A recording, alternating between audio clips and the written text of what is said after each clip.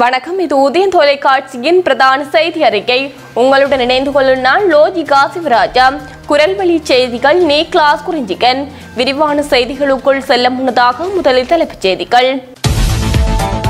Delta திரிப்பு virus ககதுடுவவுக்கும் பரவியது. பசில் பதவிக்கு வருவதற்கு தேரர்கள் எதிர்ப்பு. மைத்திரியின் ஆட்டம் அடுத்த மாதம் ஆரம்பம். சுதந்திர போராட்டத்தில் ஈடுபட தமிழருக்கும் அழைப்பு.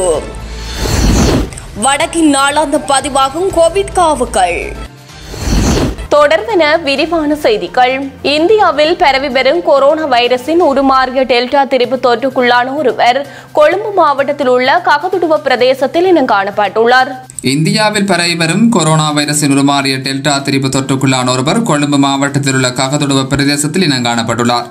இந்த தகவலை ககதொடுவ பொது சுகாதார வைத்திய அதிகாரி தனக பத்மராஜ் தெரிவித்துள்ளார். அதையடுத்து இலங்கையில் டெல்டா வைரஸ் தொற்றுக்குள்ளானவர்களின் எண்ணிக்கை எட்டாக உயர்வடைந்துள்ளது. ககதொடுவ பிரதேசத்தைச் சேர்ந்த நாற்பத்தி ஏழு வயது நபரே இவ்வாறு தொற்றுக்குள்ளாகியுள்ளார். இந்த நபர் கொழும்பு கொம்பனி வீதியில் உள்ள பிரதான கட்டுமான தளம் ஒன்றில் பணியாற்றி வருபவர் என்று தெரிவிக்கப்படுகிறது. இந்த நிலையில் சிகிச்சைக்காக குறித்த நபர் புலனர்வை கொரோனா சிகிச்சை நிலையத்துக்கு அனுப்பி வைக்கப்பட்டுள்ளார். அவரது மனைவி பிள்ளைகள் உள்ளிட்ட ஐம்பது பேர் தனிமைப்படுத்தப்பட்டுள்ளனர். இரட்டை குடியுரிமை கொண்டவர்கள் அரசியலிலும் அரச நிர்வாகத்திலும் ஆதிக்கம் செலுத்துவது நாட்டுக்கு எதிரான செயற்பாடு அற்றே கருத வேண்டும் என்று தேசப்பட்டுள்ள தேசிய இயக்கத்தின் ஒருங்கிணைப்பாளர் பெங்கமுவ நாளக தேரர் தெரிவித்தார். இரட்டை குடியுரிமை கொண்டவர்கள் அரசியலிலும் அரசு நிர்வாகத்திலும் ஆதிக்கம் செலுத்துவது நாட்டுக்கு எதிரான செயற்பாடு என்று கருத வேண்டும் என்று தேசப்பட்டுள்ள தேசிய இயக்கத்தின் ஒருங்கிணைப்பாளர் பெங்கமுவே நாளக தேரர் குறிப்பிட்டுள்ளார். பசில் ராயபக்ச நாட்டுக்கு சேவையாற்ற நினைத்தார் ஜனாதிபதி கோட்டபாய ராயபக்சவை போன்று அமெரிக்க குடியுரிமையை துறக்க வேண்டும் என்று பெங்கமுவின் நாளக தேரர் தெரிவித்துள்ளார். இரட்டை குடியுரிமை கொண்டவர்கள் அரசு நிர்வாகத்திலும் அரசியலிலும் பங்கு பெற்றது தவறானது என்று தெரிவித்த தேரர். இரட்டை குடியுரிமை உடையவர்கள் அரசியலில் ஆதிக்கம் செலுத்துவது நாட்டுக்கு எதிரானது என்றும் தெரிவித்தார். இங்கிலாந்துக்கு சுற்றுப்பயணம் மேற்கொண்டுள்ள இலங்கை கிரிக்கெட் அணியில் இடம் பிடித்துள்ள குசல் மெண்டிஸ் மற்றும் நுரோசன் தெக்வெல் ஆகியோரை உடனடியாக நாட்டுக்கு அழைக்க இலங்கை கிரிக்கெட் தீர்மானித்துள்ளது என்று தகவல்கள் வெளியாகியுள்ளன. இங்கிலாந்துக்கு சுற்றுப்பயணம் மேற்கொண்டுள்ள இலங்கை கிரிக்கெட் அணியில் இடம் பிடித்துள்ள குசல் மெண்டிஸ் மற்றும் நிரோசன் திக்வெல் ஆகியோரை உடனடியாக நாட்டுக்கு அழைக்க இலங்கை கிரிக்கெட் சபை தீர்மானித்துள்ளது என்று தகவல் வெளியாகியுள்ளன. இங்கிலாந்துக்கு சுற்றுப்பயணம் மேற்கொண்டுள்ள இலங்கை கிரிக்கெட் அணி இருபதுக்கு இருபது தொடரின் மூன்று போட்டிகளிலும் படுதோல்வி அடைந்துள்ளது இது இலங்கை கிரிக்கெட் ரசிகர்களை மிகுந்த கவலைக்கும் கோபத்துக்கும் உள்ளாகியுள்ள நிலையில் இலங்கை கிரிக்கெட் அணியின் முன்னாள் வீரர்களும் தற்போது இலங்கை அணியின் நிலைமை குறித்து விமர்சனங்களை வெளியிட்டுள்ளனர். இந்த நிலையில் இங்கிலாந்துக்கு சுற்றுப்பயணம் மேற்கொண்டுள்ள இலங்கை அணியின் வீரர்களான குசல் மெண்டிஸ் மற்றும் திக்வெல் ஆகியோர் இங்கிலாந்தின் டக்ட்ரம் நகரத்தில் புகைப்பிடிக்க தயாராவதும் தப்பித்து ஓட முயல்வதும் போன்ற காணொலி ஒன்று வெளியாகியுள்ளது. தொடர் தோல்விகளை பற்றி எந்தவித கவலைகளும் இன்றி இப்படி சுற்றுப்பயணங்களின் போது பொது இடங்களில் அநாகரிகமாக நடந்து கொள்ளும் வீரர்களை அணியிலிருந்து நீக்க வேண்டும் என ரசிகர்கள் தம் எதிர்ப்பை தெரிவித்து சமூக ஊடகங்களில் கருத்துக்களை பகிர்ந்து வருகின்ற நிலையில் குறித்த இரு வீரர்களையும் உடனடியாக நாட்டுக்கு அழைக்க இலங்கை கிரிக்கெட் சபை தீர்மானித்துள்ளதாக தகவல்கள் வெளியாகியுள்ளன. கணவருடன் முச்சக்கர வண்டியில் ஆலயத்துக்கு சென்று கொண்டிருந்த பெண் திடீரென மயங்கி வீழ்ந்த நிலையில் உயிரிழந்துள்ளார். இந்த சம்பவம் யாழ்ப்பாணத்தில் நடந்துள்ளது. கணவருடன் முச்சக்கர வண்டியில் ஆலயத்துக்கு சென்று கொண்டிருந்த பெண் திடீரென மயங்கி விழுந்த நிலையில் உயிரிழந்த சம்பவம் யாழ்ப்பாணத்தில் இடம்பெற்றுள்ளது. இந்த சம்பவத்தில் யாழ்ப்பாணம் வேலனை பகுதியைச் சேர்ந்த முப்பத்தி இரண்டு வயதுடைய பெண்ணே உயிரிழந்துள்ளார். சுன்னாகத்தில் உள்ள ஆலயம் ஒன்றுக்கு கணவருடன் முச்சக்கர வண்டியில் பயணித்துக் கொண்டிருக்கும் போதே திடீரென மயக்கமுற்றார் அதைத் தொடர்ந்து அவரை உடனடியாக யாழ் போதனா வைத்தியசாலைக்கு கொண்டு சென்ற போது அவர் ஏற்கனவே உயிரிழந்துள்ளார் என வைத்தியர்கள் தெரிவித்துள்ளனர். குற்ற புலனாய்வு பிரிவினரால் கைது செய்யப்பட்ட மேல் மாகாணத்தின் முன்னாள் ஆளுநர் அசாத் சாலிக்கு எதிராக குற்றப்பத்திரிகை தாக்கல் செய்யப்பட்டுள்ளது. குற்றப்புலனாய்வு பிரிவினரால் கைது செய்யப்பட்ட மேல் மாகாணத்தின் முன்னாள் ஆளுநர் அசாத் சாலிக்கு எதிராக குற்றப்பத்திரிகை தாக்கல் செய்யப்பட்டுள்ளது. இந்த விடயம் தொடர்பாக சட்டம் அதிபரால் உயர் நீதிமன்றத்திற்கு இன்று திங்கட்கிழமை அறிவிக்கப்பட்டுள்ளது. பயங்கரவாத தடை சட்டம் மற்றும் ஐசிசிபிஆர் சட்டத்தின் கீழ் கொழும்பு மேல் நீதிமன்றத்தில் இந்த குற்றப்பத்திரிகை தாக்கல் செய்யப்பட்டுள்ளது என்று சட்டம் அதிபர் அறிவித்துள்ளார். மார்ச் ஒன்பதாம் திகதி ஊடக சந்திப்பில் அவர் தெரிவித்த கருத்து தொடர்பாக மார்ச் மாதம் பதினாறாம் திகதி அசாட் சாலி கைது செய்யப்பட்டிருந்தார். ஸ்ரீலங்கா சுதந்திர கட்சியின் தலைவரும் முன்னாள் ஜனாதிபதியுமான மைத்திரிபால சிறிசேன மற்றும் எஸ் பி திசாநாயக் ஆகியோருக்கும் அமைச்சரவை அந்தஸ்துள்ள அமைச்சு பதவிகள் வழங்கப்பட உள்ளன என்று அரசியல் வட்டாரங்களில் இருந்து அறிய முடிகின்றது. ஸ்ரீலங்கா சுதந்திர கட்சியின் தலைவரும் முன்னாள் ஜனாதிபதியுமான மைத்திரிபால சிறிசேன மற்றும் எஸ் பி திசாநாயக் ஆகியோருக்கும் அமைச்சரவை அந்தஸ்துள்ள அமைச்சு பதவிகள் வழங்கப்பட உள்ளன என்று அரசியல் வட்டாரங்களில் இருந்து அறிய முடிகின்றது.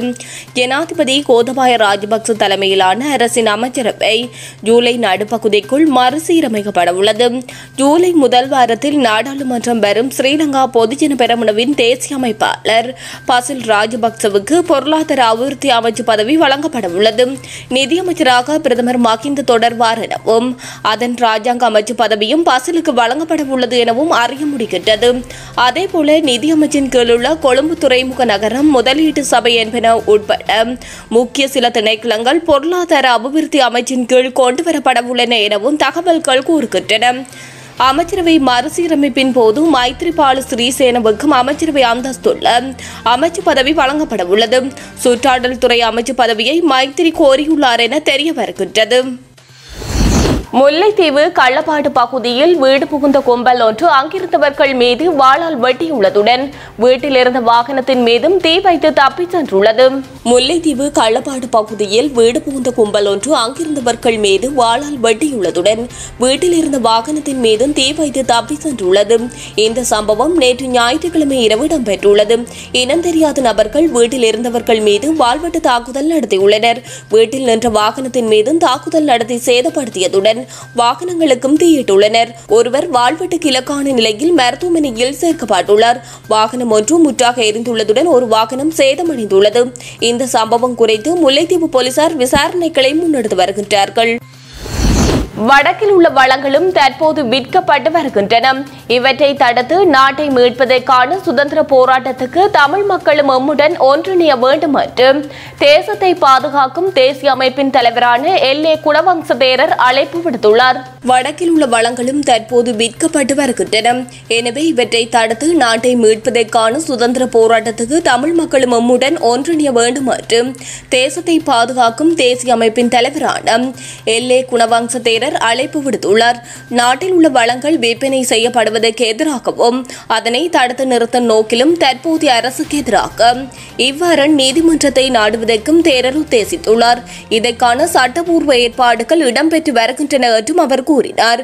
இவ்வாறானதொரு பின்புலத்திலேயே நாட்டு வளங்களை பாதுகாப்பதற்காக தமிழ் மக்களும் ஒன்றிணைய வேண்டும் என்ற அறைகூவலை அவர் விடுத்துள்ளார். முகநூலில் கருத்து பதிவிட்ட இருவர் கடத்தி செல்லப்பட்டு காட்டுக்குள் வைத்து சித்திரவதைக்கு உட்படுத்தப்பட்டுள்ள கொடூர சம்பவம் ஒன்று கண்டியில் இடம்பெற்றுள்ளது. முகநூலில் கருத்து பதிவிட்ட இருவர் கடத்தி செல்லப்பட்டு காடுக்குள் வைத்து சித்திரவதைக்கு உட்படுத்தப்பட்டுள்ள கொடூர சம்பவம் ஒன்று காண்டியில் இடம்பெற்றுள்ளது இவர்களை கடத்தி சென்று சித்திரவதைக்கு உட்படுத்தியவர்கள் தலைமறைவாக்கியுள்ள நிலையில் அவர்களை கைது செய்வதற்கான நடவடிக்கையில் போலீசார் தீவிரமாக இறங்கியுள்ளனர். சிலுவையில் வைத்து ஆணி அடிப்பது போல் பலகி ஒன்றில் வைத்து அவர்களுக்கு ஆணி அடிக்கப்பட்டுள்ளது எனவும் முறைப்பாடு செய்யப்பட்டுள்ளது. கண்டி பல்லேகல பெலகொல்ல பகுதியில் வசிக்கும் முப்பது வயதுடைய நபர் ஒருவரே இந்த சம்பவத்தின் பிரதான நபராக கருதப்படுகின்றார் எனவும் அவரால் நடத்தப்படும் ஆன்மீக நிலையங்களுக்கு எதிராக முகநூலில் தகவல் வெளியிட்டனர் என கருதப்படும். இருவரே இவ்வாறு சித்திரவதைக்கு உட்படுத்தப்பட்டுள்ளனர் எனவும் போலீஸ் ஊடக பேச்சாளரும் பிரதி போலீஸ் மா அதிபருமான அஜித் ரோகன் தெரிவித்தார். கொரோனா தொற்று காரணமாக வவுனியாவில் நேற்று ஒருவரும் முல்லைத்தீவில் நேற்று முன்தினம் ஒருவரும் உயிரிழந்துள்ளனர். கொரோனா தொற்று காரணமாக வவுனியாவில் நேற்று ஒருவரும் முல்லைத்தீவில் நேற்று முன்தினம் ஒருவரும் உயிரிழந்துள்ளனர். வவுனியா தவசிக்குளம் பகுதியைச் சேர்ந்த எண்பத்தைந்து வயது முதியவர் ஒருவர் வவுனியா மருத்துவமனையில் சிகிச்சைக்காக சேர்க்கப்பட்ட நிலையில் அவருக்கு கொரோனா தொற்று உறுதி செய்யப்பட்டது.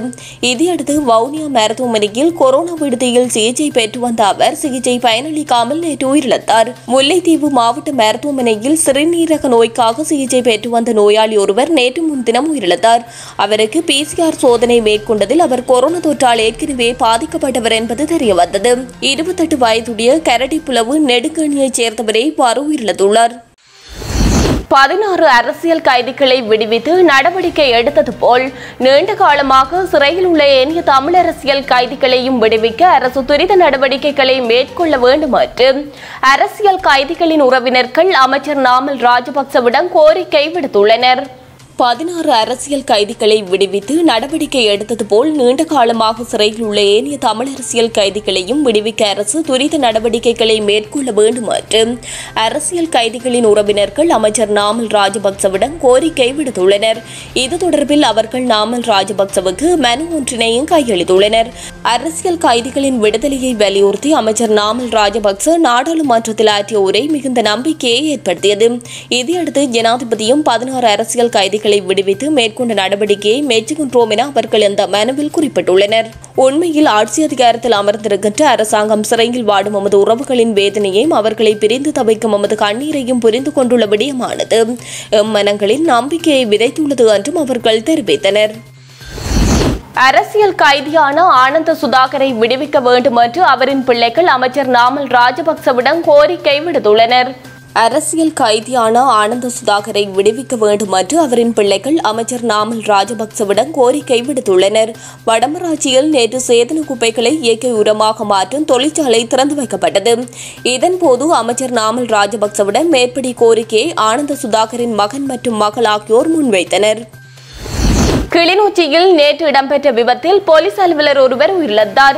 கரடிப்போக்கு சந்தியிலிருந்து பெரிய பரந்தனூடாக பூநகரி வீதிக்கு செல்லும் வழியில் ஐந்தாம் வாய்க்கால் பகுதியில் இந்த விபத்து சம்பவித்துள்ளது. கிளிநொச்சியில் நேற்று இடம்பெற்ற விபத்தில் போலீஸ் உத்தியோகத்தர் ஒருவர் உயிரிழந்தார். கரடிப்போக்கு சந்தியிலிருந்து பெரிய பரந்தன் ஊடாக பூநகரி வீதிக்கு செல்லும் வழியில் ஐந்தாம் வாய்க்கால் பகுதியில் இந்த விபத்து சம்பவித்துள்ளது. வேக கட்டுப்பாடு இழந்த மோட்டார் சைக்கிள் வாய்க்காலுக்குள் விழுந்ததன் காரணமாக இந்த விபத்து இடம்பெற்றுள்ளதாக தெரிய வருகின்றது உயிரிழந்தவரின் சடலம் மீட்கப்பட்டு கிளிநொச்சி மருத்துவமனைக்கு கொண்டு செல்லப்பட்டுள்ளது. மேலதிக விசாரணைகளை கிளிநொச்சி போலீசார் மேற்கொண்டு வருகின்றனர். இத்துடன் நமது பிரதான செய்தி அறிக்கை நிறைவடைகின்றது. நன்றி வணக்கம்.